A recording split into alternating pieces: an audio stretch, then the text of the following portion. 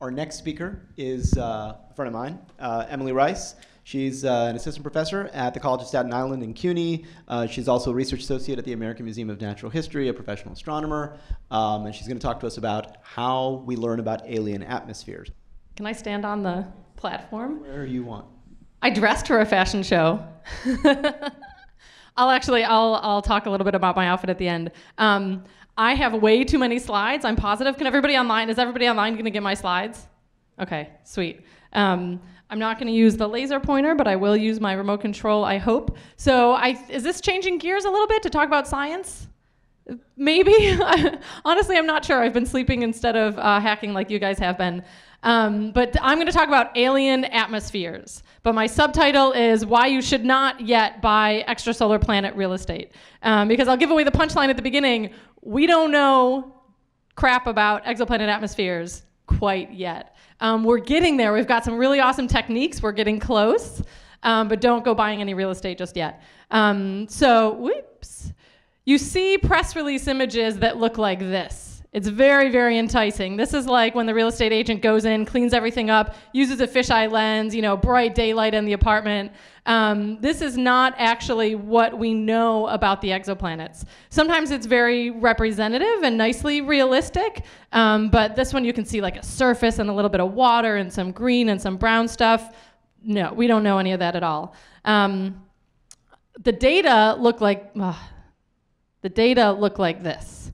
This is what we know about this exoplanet in particular. This is straight from the science paper uh, published last year in the Astrophysical Journal. This happens to be a planet that was detected using the wobble method or radial velocity measurement. So this is a nice video showing what the wobble method is. This is also a little bit misleading because it looks like the planet is nice and big and visible, but the spectrum at the bottom, that's what we actually measure, is coming from the star. And so what happens is we see the spectral lines of the star shift back and forth, which makes us think that the exoplanet is wobbling. Wobble, wobble, wobble. um, and we infer the, the presence of the planet. And because this method is based on the reflex motion, just based on gravity and the orbital motion, the only thing that we actually get for this planet, the thing that we can actually measure, is the mass of the exoplanet, how much stuff it is there. Um, so keep that in mind. This everything is going to come back together in just a couple more slides. For another method, this is an exoplanet called Kepler 186f. There was a huge press release last year because this is probably the most Earth-like exoplanet that we know about. Um, but the thing about Kepler 186f is that we've actually uh, we might have measured both, but for the Kepler planets, the Kepler is this big mission that has monitored hundreds of thousands of stars um, in order to see uh, what I like to call now a winking um, from the stars. So it's not a blink because the star doesn't totally disappear, but the star kind of winks a little bit because the planet passes in front of it. So the star's brightness decreases just a tiny little bit. Um, and in this method, because of how it's, uh, you know, what we can actually measure, we can determine the radius of the planet, just the size of the planet, the physical size. And unless you also have wobble measurements, you don't know, necessarily know anything about the mass. And the same thing with the wobble planets, unless you have the planet that also happens to transit, you don't know anything about the radius of the planet.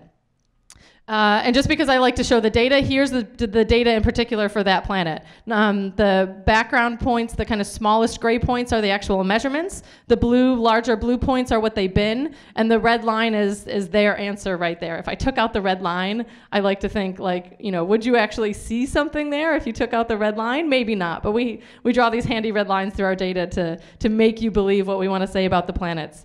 Um, and I'll also point out that the, the journal there is called Science. The shorter the journal name generally, the more exciting the, res- the, um, the result. So the previous one was Astrophysical Journal. Science means it's super exciting, just one word journal.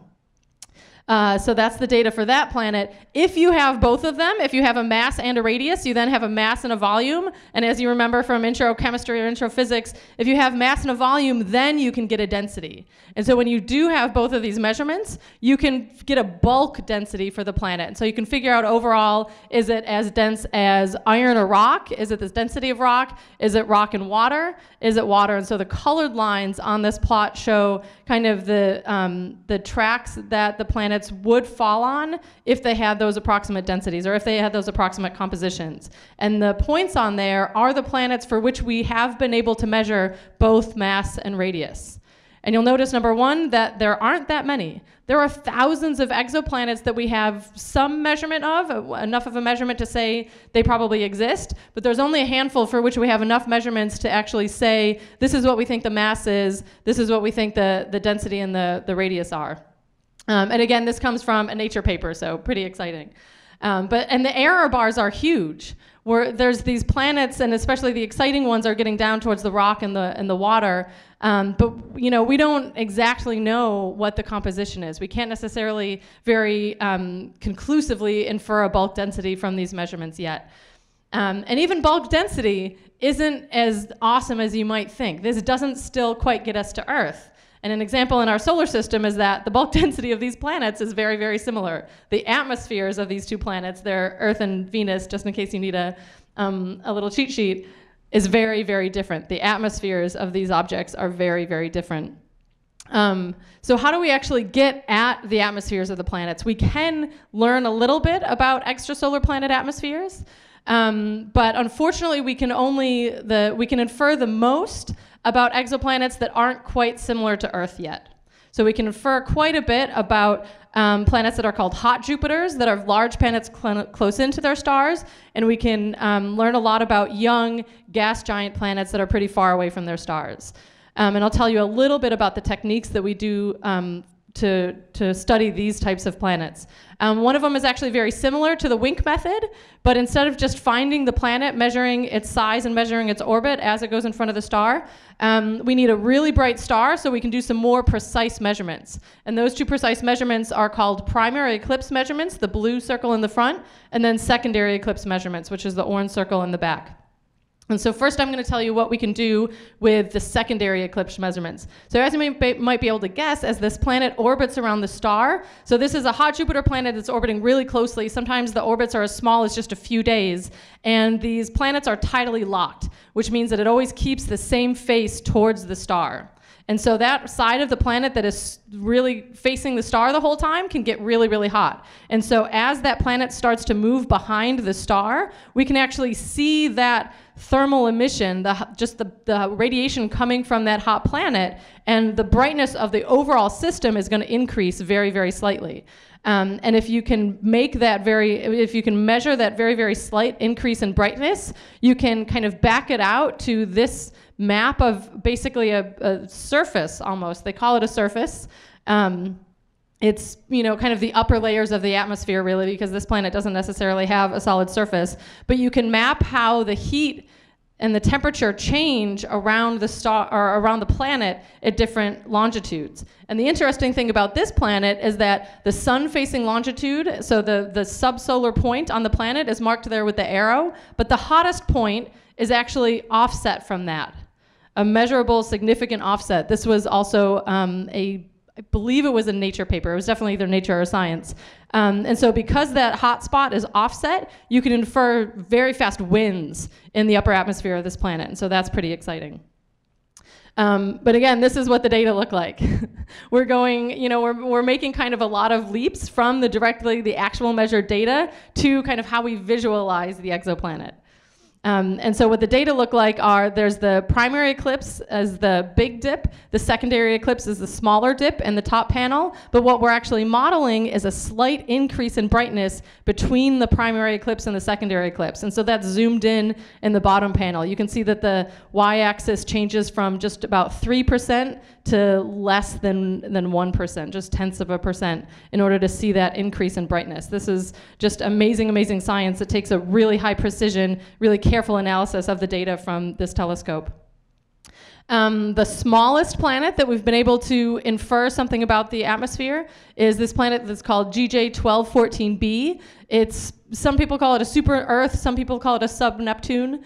Um, it, I think most people now call it a sub-Neptune, so we think it's a, it's a big gaseous planet, but not as big as Jupiter or Saturn.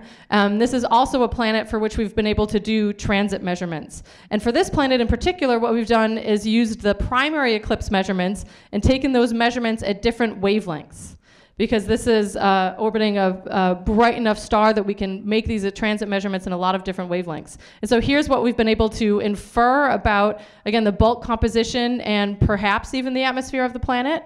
And here is what the data look like. So all of those gray and, and black data points are measurements of the transit depth at different wavelengths, which we can then match up to models, which are the colored lines on here, uh, to try to match up the model of the atmosphere with the data.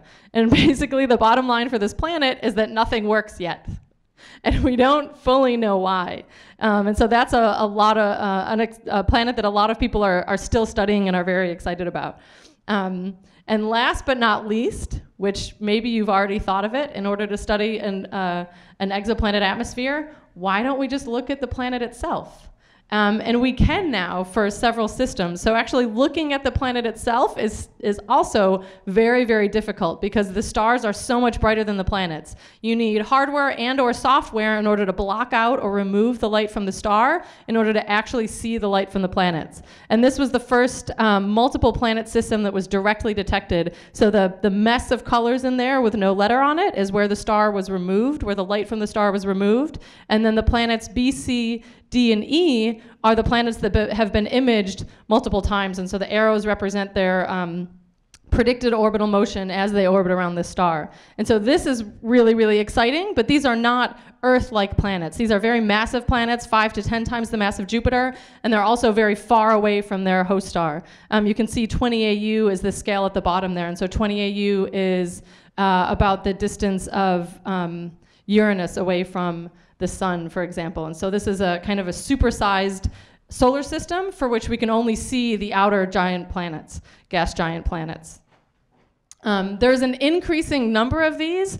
The one that I just showed, HR 8799, is kind of the most exciting one because it's one of the only multiple planet systems. But there's an increasing number of these systems for which there's directly observed planets, which is exciting. Sometimes we can see a disk around them, like for Beta Pictoris and for Fomalhaut. Um, so the Beta Pictoris is actually the star. The planet is represented by the lowercase letter.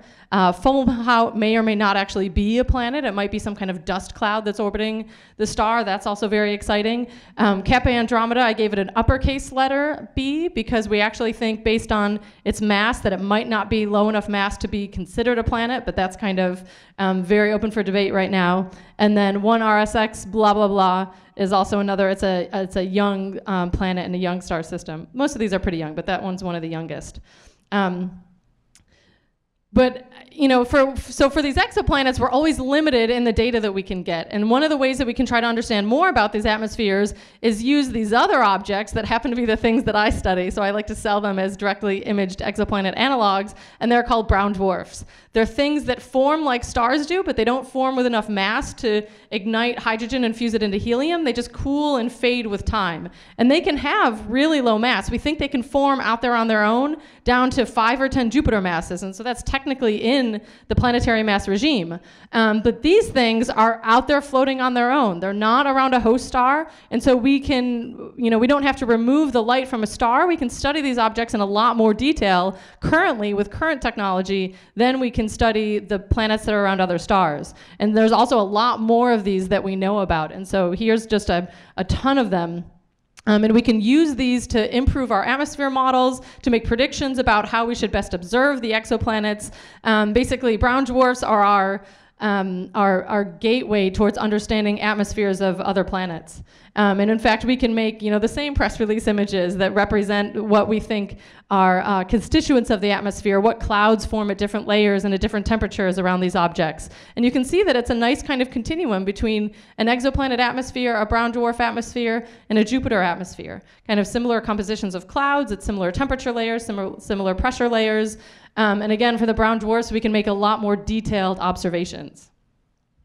Uh, last but not least, we already have improved instrumentation coming down the pipeline to be able to study exoplanet atmospheres in new and exciting ways. The James Webb Space Telescope is going to launch in 2018. Hopefully, everybody knows about that. That's nice that NASA's kind of next flagship space mission, but there's also more recently approved the Transiting Exoplanet Survey Satellite. It's a little bit smaller, a little bit um, uh, lower scope, but it's going to be specifically targeted at studying, um, I think, something like half a million exoplanets, monitoring, monitor, sorry, stars, monitoring about half a million stars, looking for those transits, and it'll be able to do it um, with enough precision to, to do some of those atmosphere tricks in order to measure the, the um, atmospheres of these exoplanets, which Kepler unfortunately couldn't, isn't really capable of doing, wasn't really capable of doing.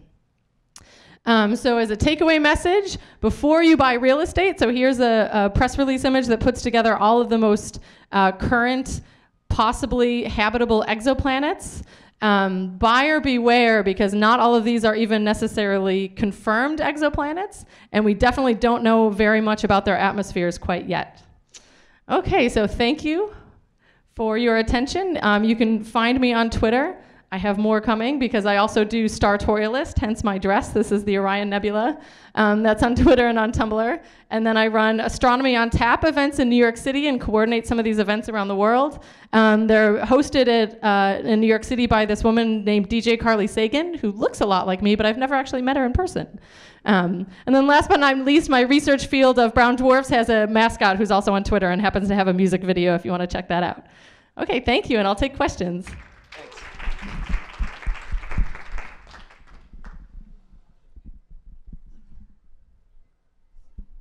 Hi, Emily. Um, just a quick question. So I always wondered about the naming conventions for these Oh, yeah. exoplanets.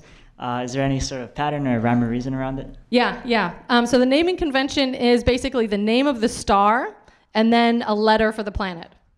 And you might have noticed something missing. In the, the first planet that you find around a star is the B. So where's the A? The A is the star, is really what it is. Um, and then the uppercase and the lowercase, right now, the way that we do it is that the uppercase is, um, can be a stellar companion even. And so if you have two um, stars in a system, like Alpha Centauri, for example, is a multiple star system. So we have Alpha Centauri A and Alpha Centauri B, and they're both capital letters because they're both um, higher than planetary mass. And we use the lowercase letter for planetary mass objects. Sometimes we don't know the mass, and so we actually have to change what letter we use, and it makes things kind of interesting because the the exoplanet that possibly exists around Alpha Centauri B is actually Alpha Centauri Big B Little b because it's around the secondary in the stellar system, and then it's the, the first planet around that star. So that's kind of fun. Um, and then the stars' names, there's tons of different ways for measuring stars, and so I don't won't go into that. Sometimes they're you know fun because they're visible in the night sky, and so they're named after the constellation, like Alpha Centauri or uh, Kappa Andromeda. Sometimes they're from some kind of catalog, and so there's this license plate of indecipherable letters and numbers. Any other questions for Emily? Uh, Yeah, Mike. I don't know if Michael's been up here yet, but he does videos, and that's why we're working on an exoplanet video together. Yeah. Michael's um, doing it, and I'm trying to make him do it.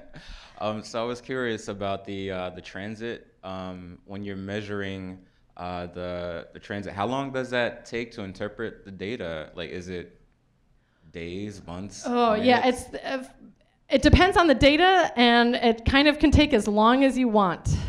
Um, so the Kepler mission, in particular, um, took in the original version of the Kepler mission, it, it took data for about four years, um, and scientists are still working on processing that data.